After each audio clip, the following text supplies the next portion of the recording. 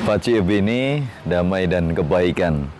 Sore hari ini bersyukur atas berkat Tuhan yang selalu mekar berseri. Dan hari ini juga hari Raya Hati Yesus yang Maha Kudus. Panti asuhan juga bisa saat ini ada dan terus juga memberikan keberadaan ini karena juga kasih, karena hati saudara-saudari. Dan besok kita akan merayakan hati tak bernoda Santa Perawan Maria. Setiap satu menjadi kesempatan.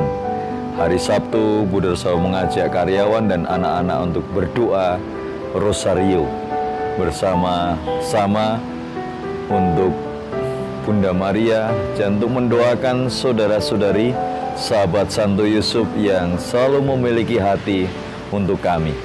Mendoakan, saling mendoakan adalah wujud kasih, wujud cinta, wujud hati.